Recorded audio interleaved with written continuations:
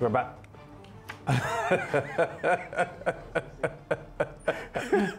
Genie, you're, you're, you're a sport, man. You- you- you Well, well, well, well, yeah, after, after a very uh, eventful uh, Emilia Romagna Grand Prix at Imola Yeah, in Italy yeah. on Sunday, where High George, drama, high yeah, drama. yeah, I, I was watching from the fifth lap, and Yeah. the, the, the crash between George Russell and and, and, and, and Valtteri Bottas. Yes. And I was wondering, but you were the offending party. Why didn't you go and slap the man in his? and of course, he was showing the middle finger, and Yeah. yeah, there you go. So there you go. Lewis Hamilton coming from ninth to finish second, really driving one Admitting to making a rare mistake, but did, did you see him on his haunches with his, Yeah, his yeah, hand during the break? ah. Lewis realized that he transgressed badly, but he did finish on the podium. Anyway, uh, to uh, motorsport, but one that requires a totally different skill set. Jamaica's first rallycross champion, Fraser McConnell, is making his mark on the international stage on his debut at the Rallycross Nordic Championship in 2020. That was last year. McConnell finished second behind his colleague at auto racing team Olsbergs. So this is the schedule. Four races in this season's Rallycross Championship. And ahead of the opening event in Denmark, McConnell warmed up with a test run in Bog Walk, St. Catherine. Our producer, Valentina Thompson, was there for the ride. The Jamaican champion of 2019 has taken a brilliant win here in Mid Ohio, and you know what that means to him. We're here with Fraser McConnell, uh, Jamaica's first rally champion. How do you feel to have that accolade? Boy, it's a real honor and privilege. I'm privileged enough to be the only Jamaican that's ever gone overseas and competed in rallycross. Actually, the only man from the Caribbean to do it as well. So, um, doing that and being able to put them on the map in rallycross is a huge privilege for me. Um, and thankfully, some sponsors have come on board. Barita has come on board, um, KIG, Puma, to be able to help me go up there um, and compete this year again at the at the highest level in the Scandinavian countries. Um, and we're just using this as a little practice session out at True Juice to get back used to the feeling of the car because it's been a while. Um, and just invited out some of the rally guys to get the competition flowing and have a fun day. How close is it to the, the format of Nordic? Ah, well, what I'm going up to is side-by-side racing. This is a rally car which runs on a time closed stage by itself, running against the clock. Rallycross is five cars lining up against each other side by side, going on the green light, and it's very short, four laps, but I mean intense, and you're running against the clock in the beginning, but you're still racing each other. So it's a lot of strategy that comes into play, trying to pass and be clean and save time, but also, you know, win at the same time. Tell me about the team that you raced for in Sweden, Olsberg. Yeah, man, OMSE is the best in the business up there. That's why we joined with them. They approached us when we were competing in America and just wanted some, some something different. Um, the Erikssons take me in like family every time I'm up there. I live with them. They, they run OMSE and they, they, just, they just operate at a very professional standard that I'm taking notes from and learning from them every single second I'm with them. So they're, they're a huge part of my, my, my progress in, in driving, um, both on and off the track. And I'm just gonna use what they taught me throughout the last couple of years to put, to the top, step this year. And it was a 1-2 finish in the Nordic Championship. Right. You finished second on 91 points. Your teammate had 111 points Yeah, in wa- first. It was close, but it was my first year competing in the supercar, his third year. Um, it was my first time going to compete at all of those tracks, and he had driven them a number of times. Um, but I mean, apart from that, he's a brilliant driver. I learned a lot from him. And this year we're working together to, to try to do that one-two again, but I'm going to be trying to go for the one this time. So you mentioned that you raced in the super class last year, but that wasn't how it was supposed to be. No. But because of the COVID-19, Yeah. you got the chance. Tell me about that. Yeah, so when COVID actually came about, it gave us that opportunity to step up into the supercar class. And we were taking it one event at a time. The first event was just to get our feet wet, see if we could handle those rough waters. And we ended up performing very well, making it to the final in the first weekend. And with that, we said it would have, been a shame to not continue and put myself in a new environment with a new track, um, some new competitors. And they even, the world champion, three-time world champion, Johan Kristoffersson, even came into the mix. And that was just one up, tick off my checklist to race against the best in the world. So the first race for this season is set for Denmark. First event in Denmark, first and second of May. And then the second event is in Sweden, um, I think 13th, 14th. And then we go to Finland, which is going to be a new track for everybody. And then we finish in Sweden. Is there a disadvantage being a Caribbean driver among more established drivers?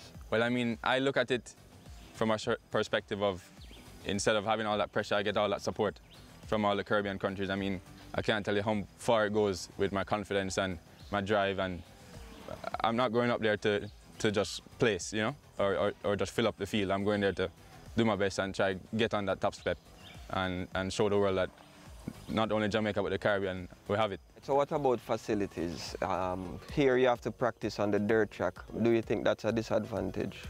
I mean, you could look at it that way, but I'm using what I have. I, I can't look at them and be envious of them practicing on their track and getting that experience. I'm using what I have out there in Bog Walk, true juice, to extract as much as I can. And then with that, I'm mixing some go-karting out at Palisadoes. So, I mean, it might not be the best possible perfect world practice situation, but I'm using everything I have um, to, to make sure I'm fully prepared. And your campaign this season will be boosted by Barita, one of your sponsors. That's right. Uh, how instrumental were they? Well, I can't tell you how much Barita has helped coming on board. I mean, I also have to give thanks to Puma, they've come on board. Um, KIG has also come on, Sandals has been a long time sponsor. Um, KIG with the with the Subaru they're providing me and they're also helping me overseas because it's going to be in a Ford. Uh, Rainforest Seafood and you can't you can't forget Uncle Sal. So yeah, yeah. everybody is going to be on that suit and uh, getting. I'll, I'll try to give them their best value for money possible.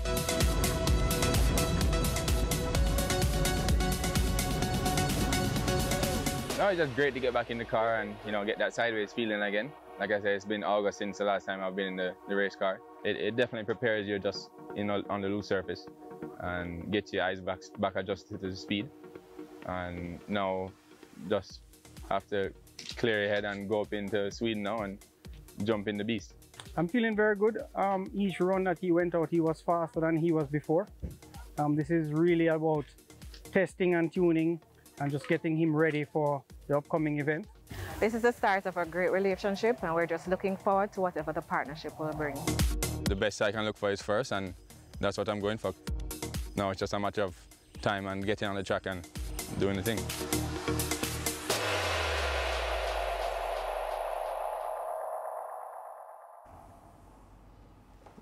That's the bad man, Fraser McConnell. He leaves Jamaica on Tuesday for Sweden to link up with his team. He joins us now on the SportsMax Zone along with the voice of Rallycross commentator Andrew Coley. Hello, Fraser. Hello, Andrew.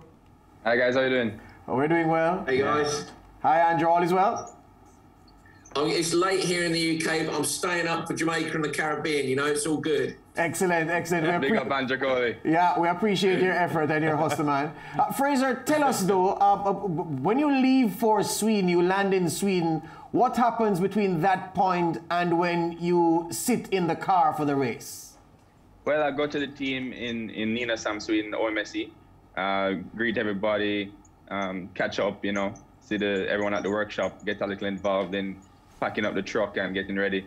And we get involved in a test session in a nearby track about an hour away, which we always go to before a race. So we have a very good benchmark of where we should be before a race scenario with what we've given um, the, track conditions. We have all all the different reference, references for each type of weather condition there. So we know if we're on pace and need to step it up or what have you.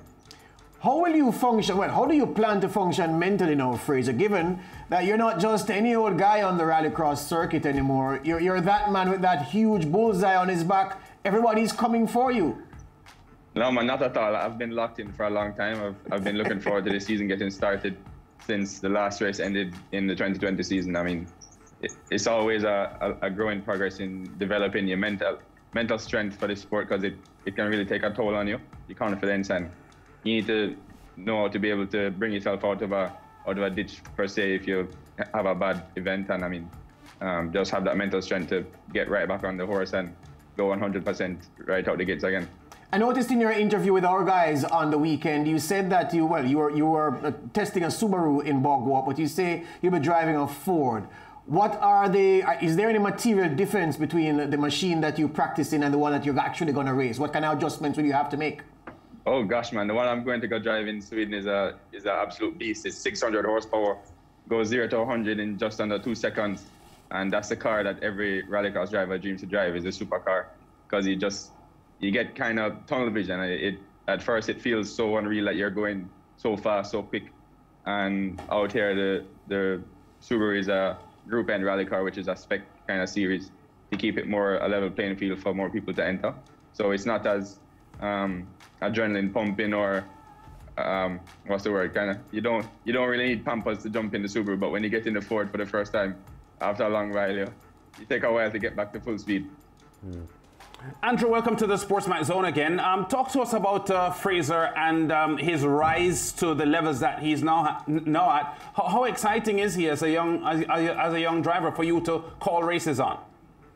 Yeah, he's very exciting. It's interesting. I was speaking to Fraz earlier on today, and we realised that I think I've commentated every rallycross race he's, he's, ever done. So he's, he's struggling to get rid of me, I'm afraid. He um, he burst onto the scene for us in America's Rallycross in 2018, and he was. Uh, I, I, think Fraz will understand when I say he was wild. He was sideways everywhere, spectacular to watch but but he had his sights set on on progressing. And when when I saw him the following year, you know, he he started the training already, the mental side of things, tidying up his driving style, and he won the championship in 2019. Uh, and and he took some brilliant wins against guys who had a a much higher reputation than him in the sport. Uh, last year, jumped into a car with twice the power into the supercar and, and did a brilliant job again. So, you know, he's he can only go one better this year. He's P2 last year. I know he's aiming for P1 this year. And uh, I, with how hard he's trying, I, I, wouldn't bet against him. I'm looking forward to, to seeing where the Jamaican flag ends up this year. Yeah. I seem to recall him winning one of the events in Canada. I think I saw a video on that. Would you have been the commentator there as well? I would have been the commentator there. Yeah, I'm very lucky. Uh, Pre-COVID, we were travelling an awful lot with the sport. So yeah, Fraz has, has, done some support category racing with the World Championship as well. So that's a category called RX2. Uh, he then won ARX2, which was the support category in the States. And, and he's got his sights set on supercars now in both Nordic and, and later this year, I know he's looking to race in America again as well. So hopefully uh, I'll, I'll be there to commentate all the action with him. Yeah, of course, you know, uh, the Caribbean and Jamaica in particular well known for producing track and field stars at uh, big Olympic Games and so on. So, how shocking has it been for you to see a driver with so much skill coming from this part of the world? It's, it's been fantastic. I mean, you know, rallycross is, is very much a, a, European sport. And I think, you know, most of our drivers have come from Scandinavia, where a lot of people are, are racing on gravel surfaces on a, a more regular basis. So they're used to driving on those, those slippery surfaces. And, and we, you know, for, to see the Jamaican flag the first time I saw Fraz at COTA, the Circuit of the Americas in Austin, Texas, like, oh, we got a Jamaican here. Like, we better head down to the paddock and go and see what's going on. What was going on usually at the end of the day is, is a nice family atmosphere, you know, and, and, a bit of a party if they've had a good result. There's always Jamaican flags around the track. And now on Instagram, I'm getting messages from people having parties and all, all around the Caribbean watching Fraz race. So I, you know, I think he's a bit of a phenomenon, and, and I'm enjoying seeing that style. I like the sideways style, but you know, he's tidied it up a bit. He's got a bit more Lewis Hamilton now. This was a great pass round the outside at Barcelona. This was one of the ultimate passes. You can't pass round the outside there. And Fraz just stuck it on, uh, was it Kallio? I think he managed to pass there. Brilliant drive, absolutely brilliant. Yeah, he's been turning heads, definitely. Yeah, uh, Fraser, we're, we're out of time, but I have to ask you, you can't do this thing without support, and we know that you have some strong corporate support in your corner. Tell me about the assistance that the folks at Barita have given you on this journey. Your mic, is your mic muted? Yeah, let's go. Are you hearing oh, us now? Yeah, go ahead, go ahead. You're good. Yeah. No, Barita is currently the main sponsor at the moment. Uh, I can't thank them enough them coming on board is really making a difference for me. Um, I just have to thank them for putting their trust in me and knowing that they're gonna get more over their value for money. I'm gonna do everything I can to represent them and make sure that when, when I'm standing on the top step, the Barita sign is very visible on the suit. Yeah, well, Andrew, we hope that you have the strength of voice to continue doing a good job. And for Fraser, all we will say is that may the force continue to be with you, sir. Thank you, sir. Good, good, Thanks, good. guys. All right, Andrew all right. Fraser, all the best. Fraser McConnell, rallycross star, and uh, the man is rising fast. He's in a hurry to get to the very top and beyond. And let me tell you, he's worth following, you know. Go on social media, you can check out his exploits real time. He is something special.